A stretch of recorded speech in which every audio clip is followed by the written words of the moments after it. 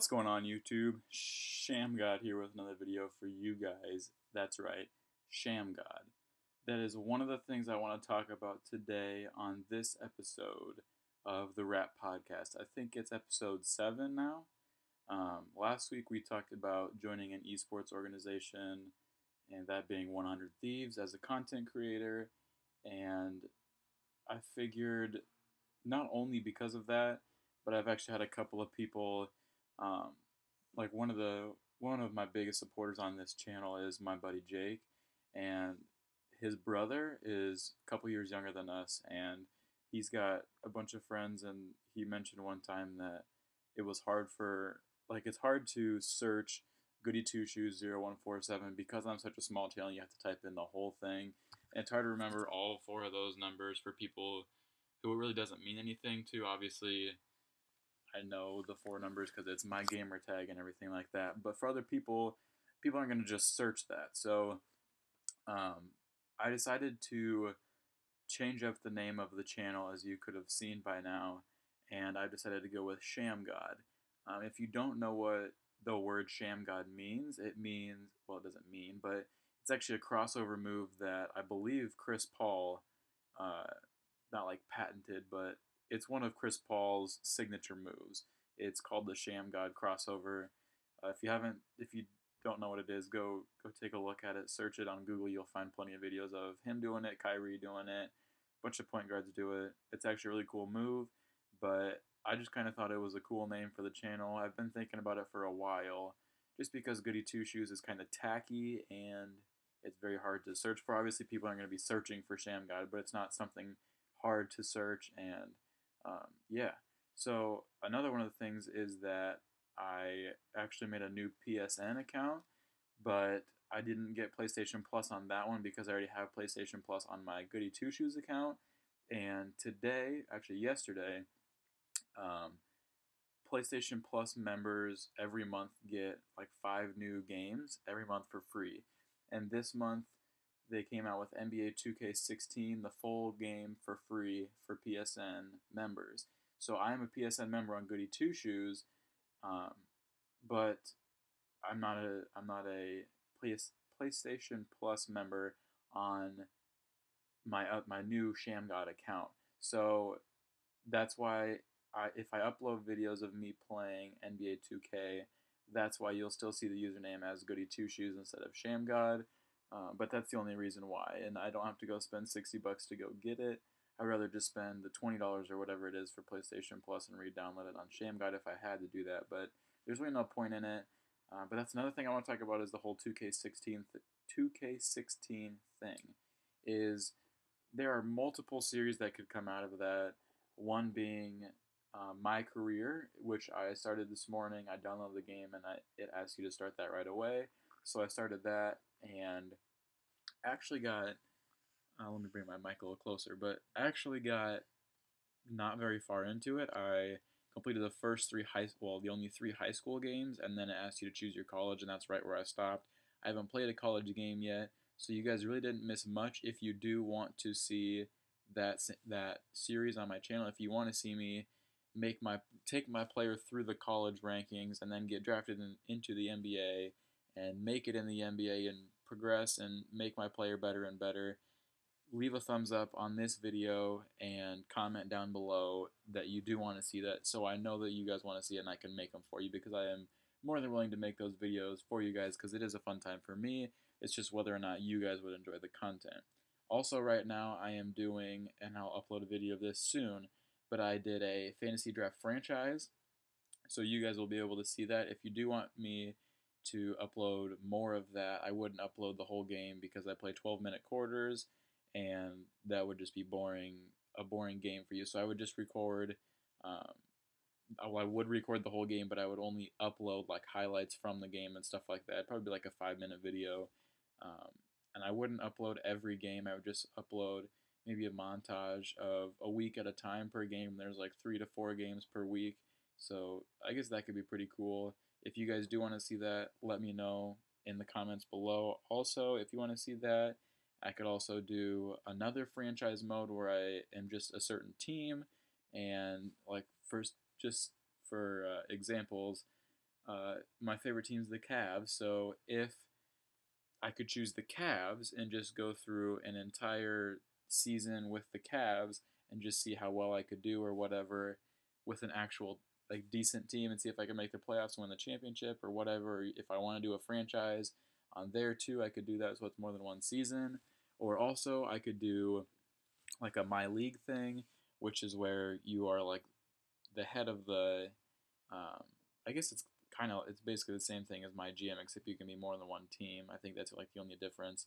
But I would be like the 76ers or the Lakers or some bad team and try and rebuild them. Um, that could be pretty fun for another series. And another possible series is that I could do a my team oh. series. Um, that's really not something I want to do, but if you guys really do want to see it, I will do it.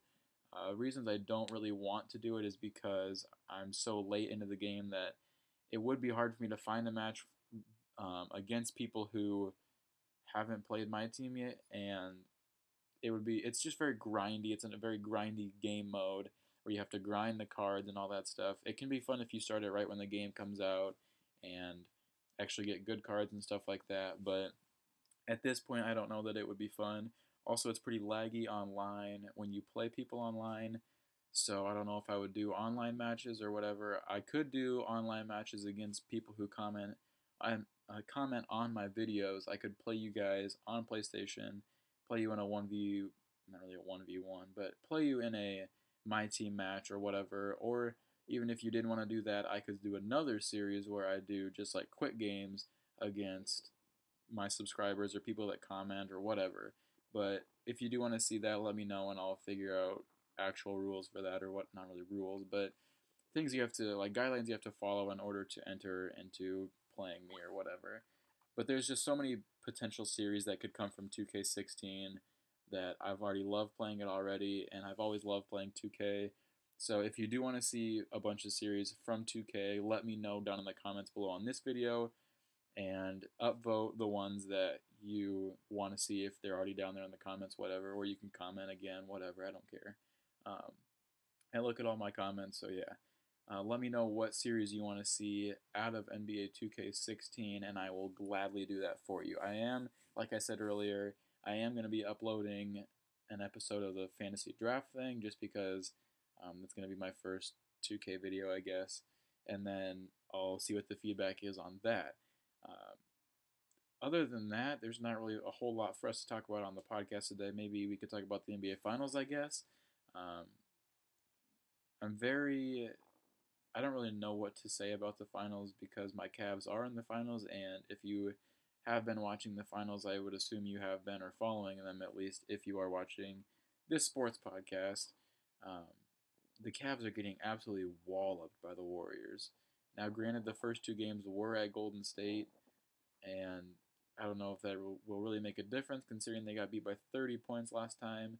And tonight they're uh, in Cleveland.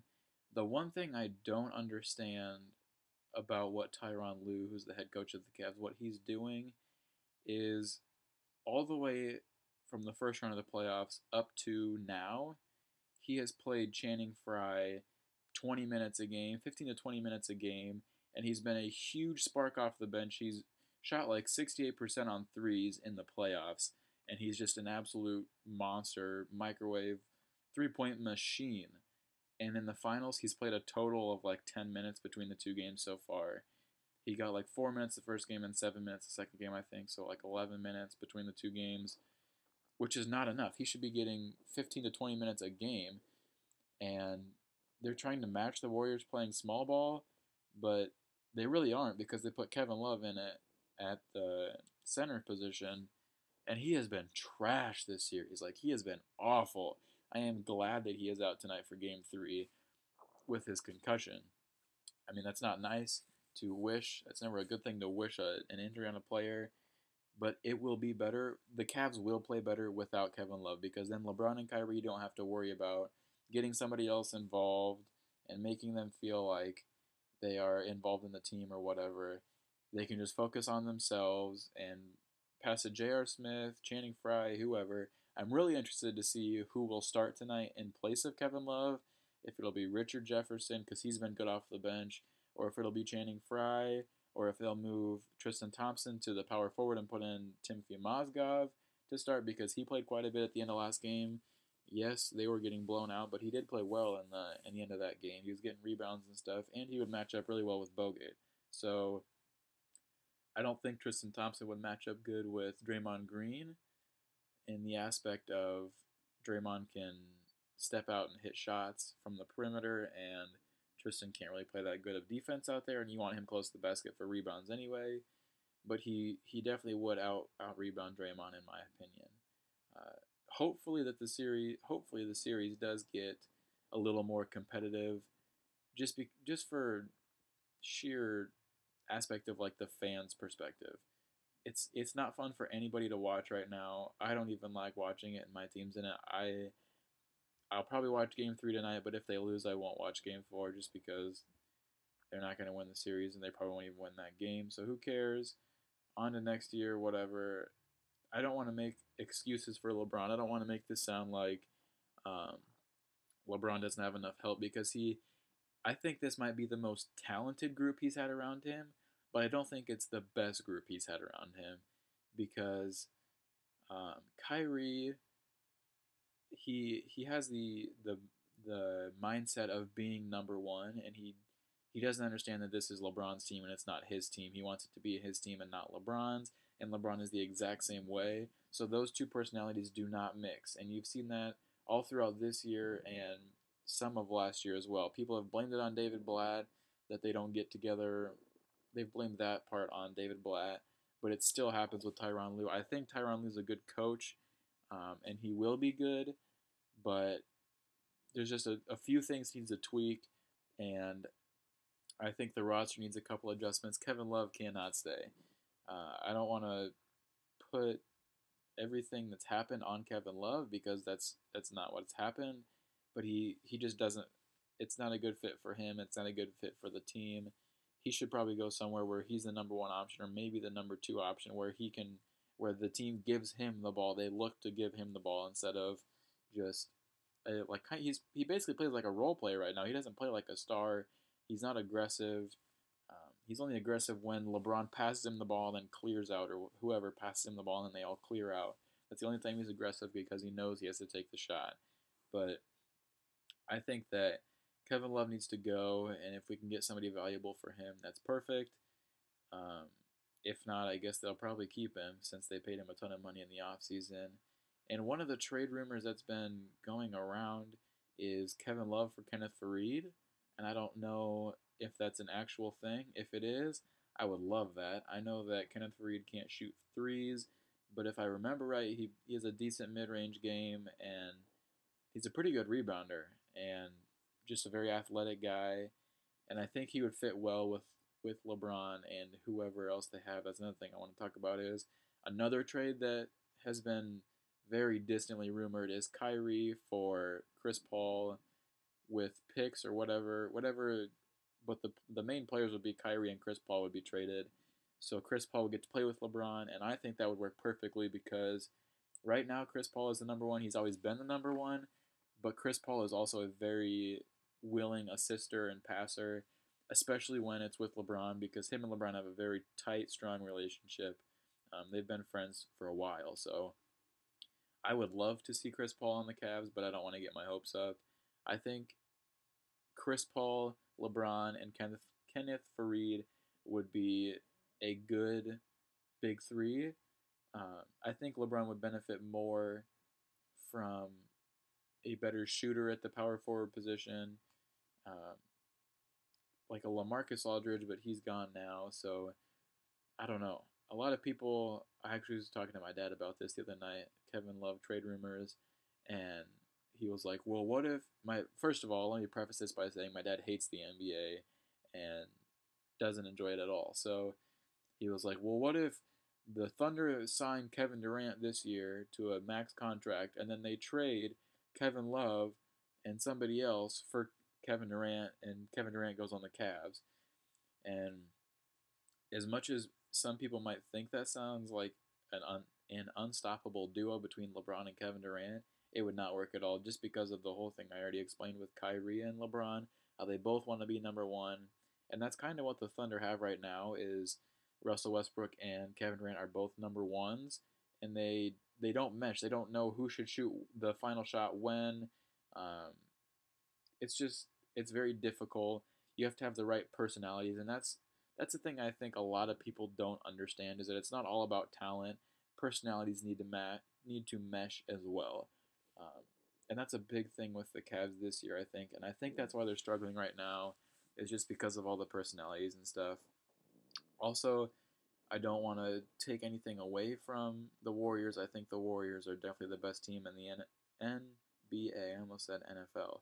The NBA and they are on a completely different level than the Cavs. But I thought the Cavs could at least keep it a series. A lot of people picked the Cavs in six and seven. Some people picked the Warriors in six and seven. But it's looking like the Warriors maybe in four or five now, um, which is unfortunate as a Cavs fan. But I'm not. I don't want to be complacent with LeBron because he's going to run through the Eastern Conference for the next five years, unless Kevin Durant comes to the Eastern Conference, which I don't see happening. But um, he's going to run through the Eastern Conference with no problems and make it to the finals and then keep losing in the finals for the next five years or so, I would presume, which is very unfortunate. Um, nobody's nobody wants to see how many losses would that be if he went for the next five years. Nobody wants to see ten losses on LeBron's um, finals record. They don't want to see two and ten. They don't want to see three and nine. They don't want to see four and eight maybe some people want to see those numbers, but I definitely don't, and basketball fans in general don't.